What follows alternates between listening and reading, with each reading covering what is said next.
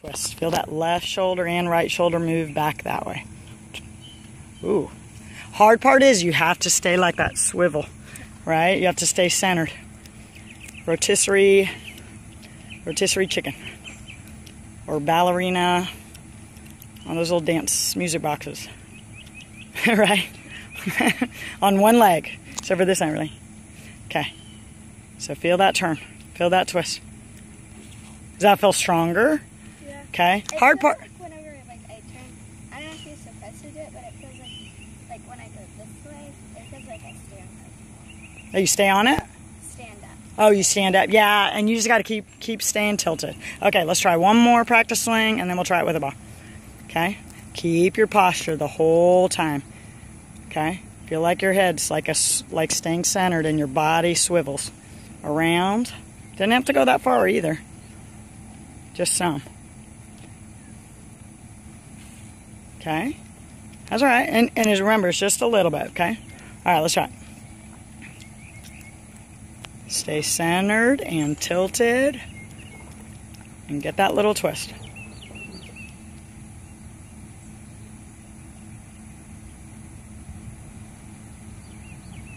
Ooh, much better. That was a different, it? Okay, try it again. That was awesome. Did that feel stronger? It does feel weird, I know. And don't worry too much about this end as long as you keep your posture. But if you at least get the stay centered and swivel around your around your noggin. I don't really want to think about a rotisserie rotisserie. There you go. Much better.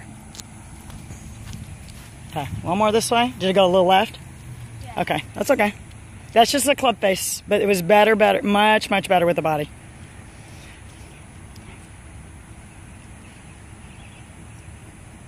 There you go. Stay centered and swivel. Swivel with your body.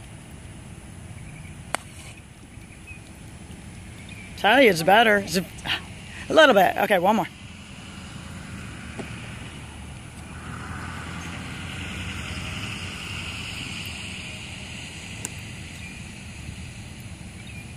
Okay, little tilt this way. There we go. Good. Nice and slow. Nice. Did you feel it?